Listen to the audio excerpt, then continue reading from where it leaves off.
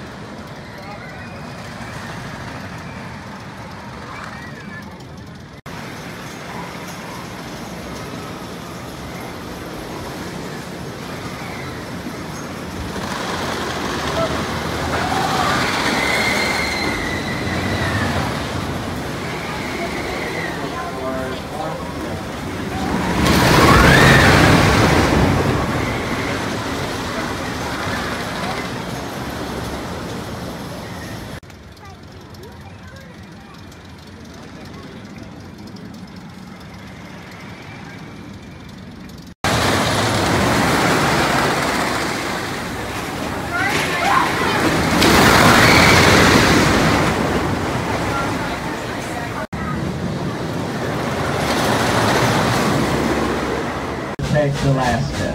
So in 1942, the United States Army took over the White Pass and Yukon Railroad at Skagway, Alaska, used it to move the material and personnel needed to build the Alcan Military Highway.